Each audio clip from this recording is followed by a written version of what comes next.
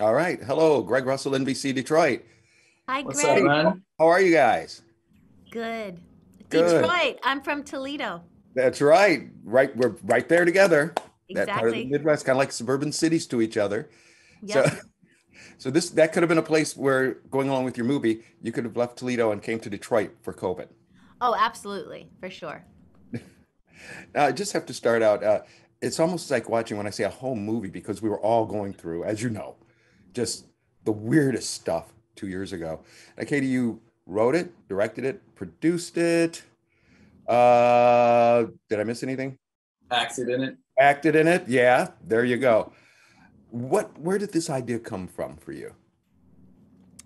Um, well, I think that it was just the process of having time to be home to re like for me rewatching movies that I love, Annie Hall, Manhattan, When Harry Met Sally, um, uh, Woman uh, Under the Influence, just all of these, yeah, movies that I love.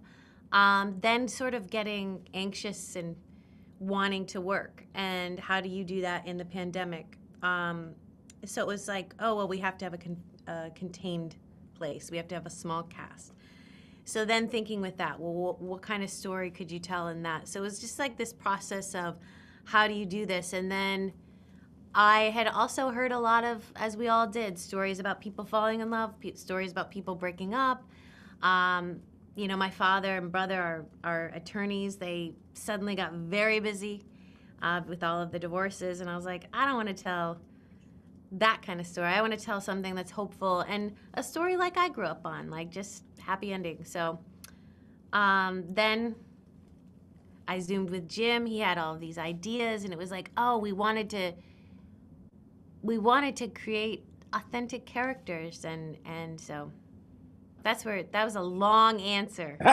no, but it was We could have driven from Toledo to Detroit with that answer. There you go. That'll be the next movie. Jim, get ready for that. Yeah, I'm, a I'm road in, I'm trip. all in. I've never been to Detroit. I would love No? to. Never. Oh my God, Detroit's Never. amazing. Come on up. I'll give you a great tour of the city. You'll Yeah, enjoy. good music comes out of Detroit. Some great music came out of Detroit. Yeah. Absolutely. We'll take you to the Motown Museum then as well. I- I'm in. I'm in. All right. And then, you know, even in this movie, just think about your character. It a lot of times good stuff does happen by mistake. He thinks he's got the whole house to himself. Next thing you know, boom, he doesn't. And sometimes that is how the greatest relationships start, isn't it? Just by happenstance. Yeah, totally. I mean, that's what was so great. They're both completely off guard. You know, they're they're not. You know, they're they're not thinking in that way at all. And that's kind of when your barriers are down and you just start to talk and spend time, and you kind of almost sort of resent that person at the beginning, and then you slowly kind of get to know them. And you know, that's what the movie does so beautifully. Is just sort of watch this relationship unfold through conversation, through listening, through sort of spending a bit of time, just two people talking and and and and and you know self-reflecting and and helping each other through that that self-reflection.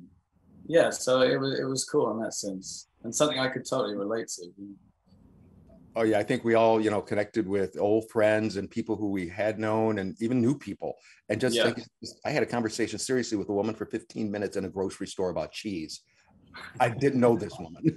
yeah yeah yeah But what did you learn? What kind of cheese did you learn about? Is the important I learned more about cheddar from her, and she learned more about Swiss from me, and also uh, New Zealand cheddar. So it was it was just weird, but you know, you you found yourself doing stuff like that, and people were uh, hungry for connection you know? People really wanted to sort of reach out and a collective experience means that people aren't just sort of strangers you know? You're all sort of having something that you can all relate to you know? You, you hear about those stories in war and wartime and you know how people really connected through those times. And i think the pandemic brought a similar kind of energy in that way absolutely, absolutely. Thank you both very, very much. Uh, I'm going to watch the movie again. Like I said, it is you just kind of watch it, you just see yourself in it.